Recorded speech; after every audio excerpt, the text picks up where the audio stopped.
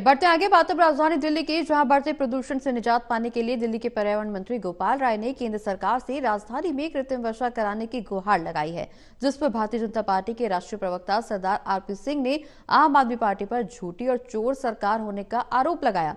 इसी विषय पर ज़्यादा बातचीत की है हमारे संवाददाता विशाल सिंह ने, बीजेपी के राष्ट्रीय प्रवक्ता सरदार आरपी सिंह से।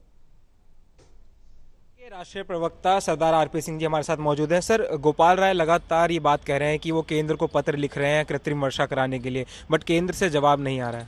नहीं तो उन्होंने करनी है, वो करें, कौन रोक रहा है? टेक्नोलॉजी लेकर आए, जो भी करना करें, परंतु तो हर बार कुछ ना कुछ नया, कभी ऑन ऑफ़ कभी ऑड इवन मतलब हर बार कुछ ना कुछ नया, क्या कि लोगों का ध्यान भटका रहे हैं। जो मूल काम करने वाला था दिल्ली के अंदर, आज भी पंद्रह हज़ार बसें चाहिए, कुल मिलाकर बहत्तर सौ बसें, जिसमें उन्नीस सौ बसें मोदी जी ने रखी हैं। उस बारे में कोई बात नहीं कर रहा। दिल्ली के अंदर जो मैकेनाइज स्वीपिंग की थी 224 मैकेनाइज स्वीपर चाहिए कुल बावन मैकेनाइज स्वीपर काम कर रहे हैं। जो इनका काम है वह करने की बात नहीं करते। बाकी कुछ भी करते रहे उसका क्या असल में क्या कि अपना करना नहीं और दूसरों पर आरोप लगाना इसके अलावा इनको कुछ आता नहीं।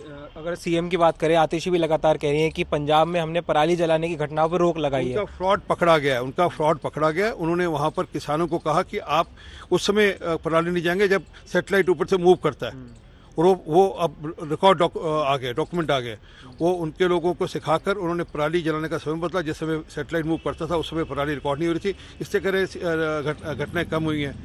सच ये है कि जितनी पराली आज पंजाब में जली उतनी पिछले कई सालों में नहीं जली। सर ऐसे में क्या लगता है दिल्ली की जनता को समाधान कैसे मिलेगा? क्योंकि राजनीति हो रही है पॉल्यूशन पे समाधान बस। एक ही है दिल्ली में ये प्रदूषित पार्टी है इसको इस बार इनको नमस्ते करनी पड़ेगी। आठ साल से सिर्फ़ झूठे आरोप लगाना और बात इधर से उधर करना इसके अलावा कुछ आता नहीं।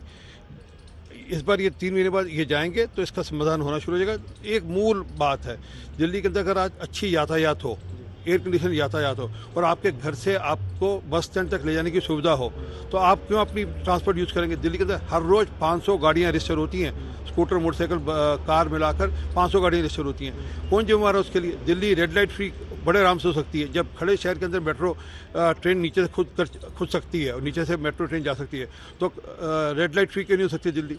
तो जो करने वाले काम वे करते नहीं। बाकी सब कुछ बहाने लगाते हैं। तो दिल्ली की सरकार सीरियस नहीं है इसलिए दिक्कत होती है। शुक्रिया समझ देने के लिए। तो आप सुन रहे थे बीजेपी के राष्ट्रीय प्रवक्ता सरदार आरपी सिंह को। सहयोगी मनोज कोहली के साथ दिल्ली से टोटल टीवी के लिए विशाल सिंह।